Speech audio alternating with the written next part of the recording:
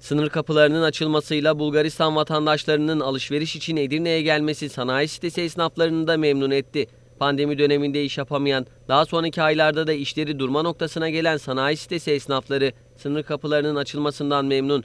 Edirne'ye gelen Bulgar vatandaşlar araçlarıyla ilgili yaşadıkları sorunları Edirne sanayisinde gidererek esnafa da katkı sunuyor.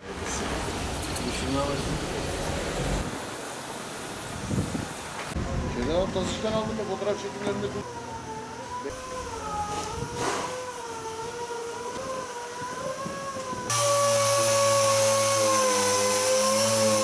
Edirne Yeni Küçük Sanayi Sitesi İşletme Kooperatifi Başkanı Fikret Üstep, Bulgar turistlerin Edirne'ye gelmesinin sanayi esnafının da işlerine olumlu yansıdığını söyledi. İyi kötü buraya sanayiye girdiği zaman esnafa para bırakıyor.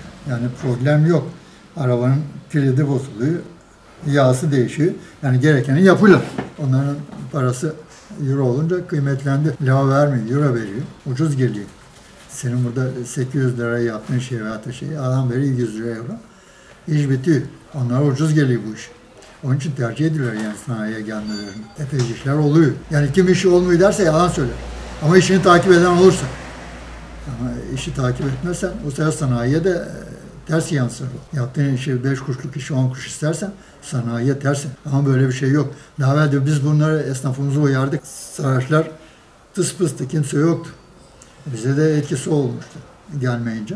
Baktığımız zaman Bulgarların epeyce şeyi var. E yarın öbür gün bir de Yunanistan açılırsa daha e, şey olur. Yunan daha çok tercihliydi sanayi. Arabasını boyatıyordu. Sanayi sitesi esnaflarından Orhan Oktay ise sınır kapılarının bir aydır açık olmasına rağmen işlerin pandemi öncesindeki gibi iyi olmadığını, bu yıl gurbetçilerin de fazla uğramadığını söyledi. Eskiden gelirdi ama bu aralar kapılar kapalı diye pek uğrayan olmuyor. Kapılar Nadir. açık şu anda. Ama bir, Bir aydır açık. bir aydır açık ama eskisi gibi değil yani. Eskisi gibi olmadığı için hani millet biraz tedirgin oluyor pandemiden dolayı. Pek fazla gelen olmuyor.